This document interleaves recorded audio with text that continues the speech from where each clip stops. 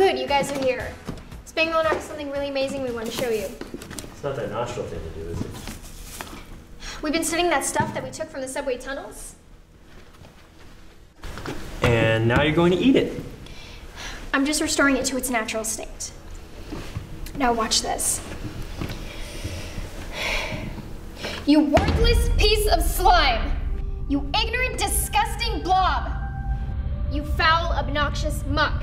You should audition for Mucinex commercials. You look like your mother swallowed and spit you back up. I've seen some real shit in my days, but you're a chemical disgrace! So this is what you do on your spare time.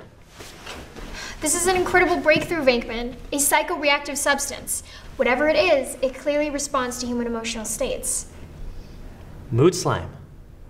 We gotta bottle this up and sell it. It's been into every event I've been to lately. So you're saying this thing actually reacts to bad vibes? Like a goat on garbage. Mm-hmm. We've been running some tests to see if we can get an equally strong positive reaction. What kind of tests? Well, we sing to it, we talk to it, we say supportive nurturing. You're not sleeping with this stuff, are you?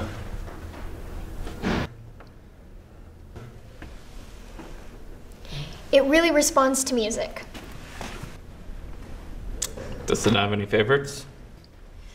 Yeah, it likes everything is beautiful, it's a small world, kumbaya, but it loves lo fi hip hop beats. Alexa, play lo-fi hip-hop beats to study and relax to. Playing lo-fi hip hop beats to study and relax to.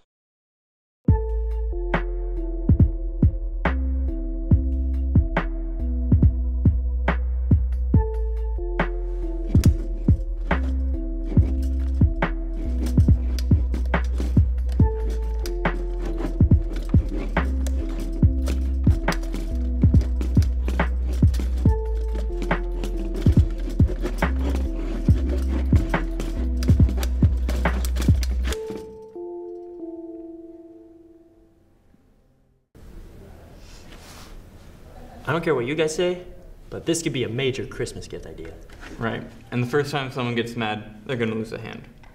So we'll put a warning label on it. Go ahead. I dare you. Ah, get it out! Get it out! Ah! It hurts! Get it out! Get it out! Get it out!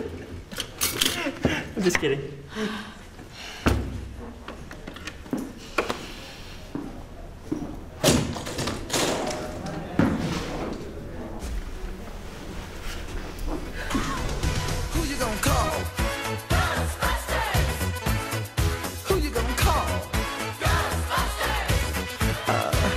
Better call